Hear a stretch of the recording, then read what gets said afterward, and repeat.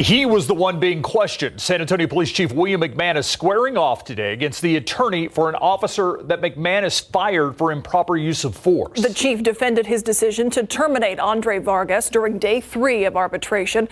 Dillon Collier with a front row seat to this heated testimony.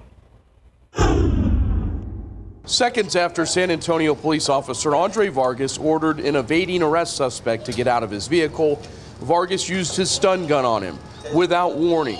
Chief William McManus stating the encounter in a Southside parking lot in November 2019 gave him no choice but to fire the three-year veteran of the force. His approach started way up here, way escalated uh, beyond what it should have been. Vargas's attorney, Ben Sifuentes, continually questioned the chief's memory of the 2020 internal affairs investigation, as the two rarely saw eye to eye on the facts of the case stands up, right? He didn't. He jerked him up. He didn't just guide him up. The back and forth got so contentious at one point that the arbitrator interrupted and told the two men that they were arguing. I want you to run the video for me.